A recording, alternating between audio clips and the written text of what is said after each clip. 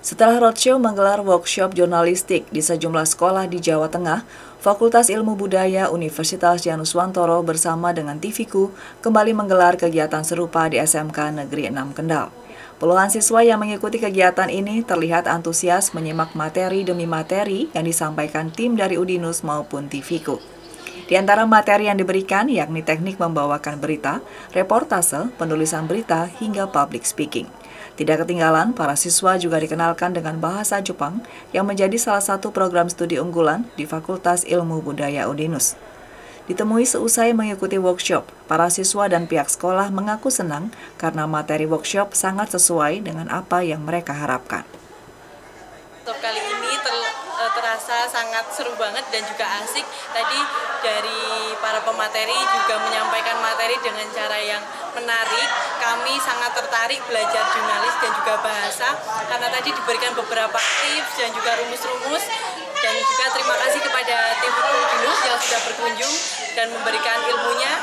Workshop jurnalistik yang diadakan oleh Udinus ini sangat bermanfaat untuk anak-anak semua, terutama untuk siswa kami. Terima kasih untuk Udinus yang telah menyelenggarakan dan juga berkenan hadir di SMK Negeri Kendal. Harapannya nanti banyak siswa peserta didik kami yang bakatnya lebih terasah dan juga ya untuk bekerja sama dengan baik dengan Udinus.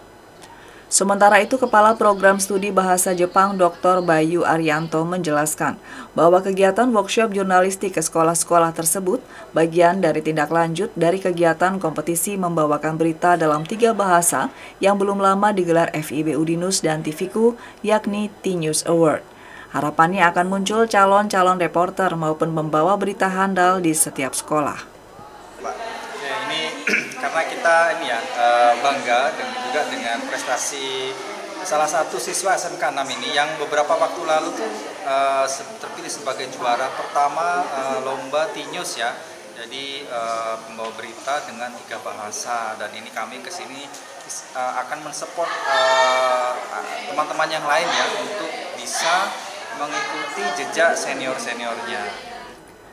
Tinjus Award sendiri sesuai rencana akan digelar setiap tahun sekali dengan sasaran para siswa SMA SMK yang tertantang untuk menjadi reporter maupun pembawa berita. Tim Liputan TVku melaporkan.